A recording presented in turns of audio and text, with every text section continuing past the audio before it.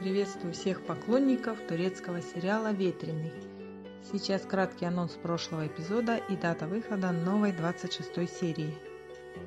Из-за недоверия Райан Миран подписывает бумаги на развод.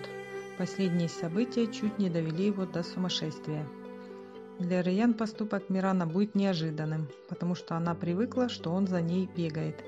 А теперь придется ей уговаривать его не совершать ошибку. Райян найдет Мирана в доме его матери. Хазар захочет встретиться с Мираном в отеле, но их разговор так и не раскроет тайну родства. Юсуф тоже что-то знает, но скрывает. Видимо, прошлое было мрачным, раз все стараются молчать о нем. Напоминаю, что новая 26 серия выйдет в эфир уже 20 декабря текущего года. С русскими субтитрами и русской озвучкой эту серию можно будет увидеть уже 22 декабря.